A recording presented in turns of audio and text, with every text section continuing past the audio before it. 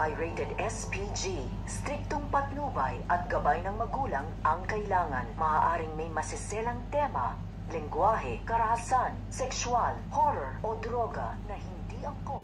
So ito nga si Patricia at ito nga si Trixie ay malalaman nga nila kung saan nga nanunuluyan ito nga ang kanilang ama na ito nga si Ramil. At dahil sa kondo nga rin doon nga na pag na may-ari ng kanilang pamilya ay dito na nga susugod ito nga si Patricia upang kausapin nga dito ito nga si Ramil at makipagbalikan nga ito at wag na nga ituloy ang kanyang pakikipag-divorce dito nga sa kanya. Pero laking gulat nga nito nga ni Patricia ng kanyang pagpunta dito nga sa kondo dahil makikita at maaabutan nga niya na magkausap ito nga si Ramil at ito nga si Lilet. Kaya nga ito nga si Patricia ay hindi na niya dito napigilan ng kanyang galit dito nga kay Lilet at sinugod na nga niya ito at pilit nga niya ditong pinapaalis. Kaya nga ito nga si Ramil ay pipigilan nga na dito ito nga si Patricia at wag na nga daw niyang guguluhin ito nga daw kanyang anak na ito nga daw si Lilet at ipagtatabuyan na nga din niya dito ito nga si Patricia sa pakakaabangan nga natin dito